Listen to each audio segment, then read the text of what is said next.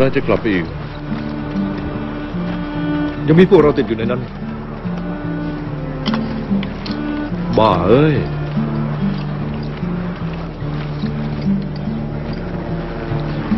เมื่อฉันกลับไปบ้าน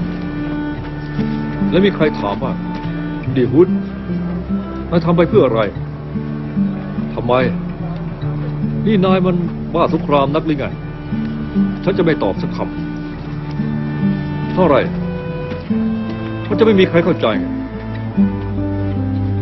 ไม่มีใครเข้าใจว่าทำไมเราต้องทำพวกเขาไม่มีวันเข้าใจคำว่ามิตรร่วมรบ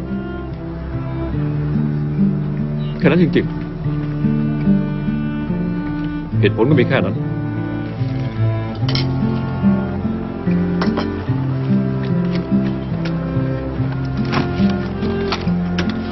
เฮ้ย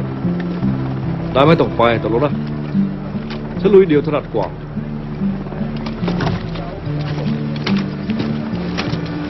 เฮ้เราเริ่มต้นสัปดาห์ใหม่แล้วนี่วันจันทร์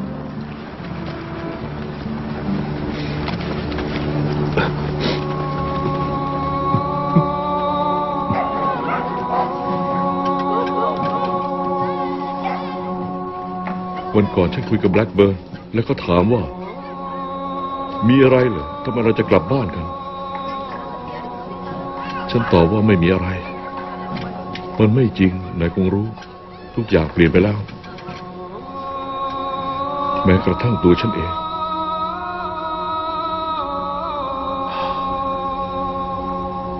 ก่อนฉันมามีเพื่อนคนหนึ่งถาม ตอนที่เราลำเลียงพลเขาถามฉันว่าทำไมนายต้องไปรบในสงครามของคนอื่น ผู้นายนึกว่าตัวเองเป็นฮีโร่หรือไง ตอนนั้นฉันไม่รู้จะตอบยังไง แต่ถ้าเขาถามอีกฉันจะตอบว่าไม่ใช่ มันไม่ใช่อย่างนั้นแน่ ไม่มีใครอยากจะเป็นฮีโร่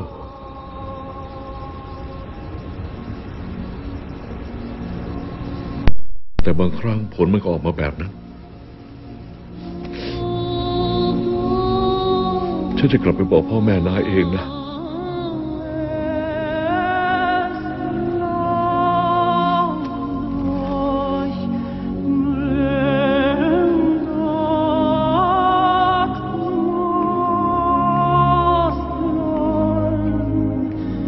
ระหว่างปฏิบัติการ ชาวโซมาเลียเสียชีวิต 1,000 คน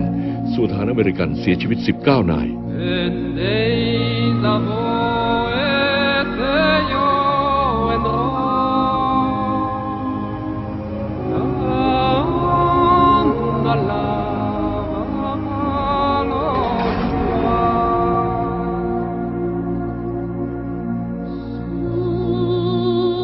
ที่รัก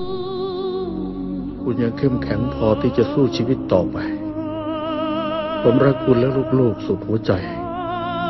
วันนี้พรุ่งนี้ขอให้แต่ละวันสร้างสรรค์สิ่งที่ดี จงยิ้มสู้อย่าถอดใจท้อถอยแม้ในยามมืดมน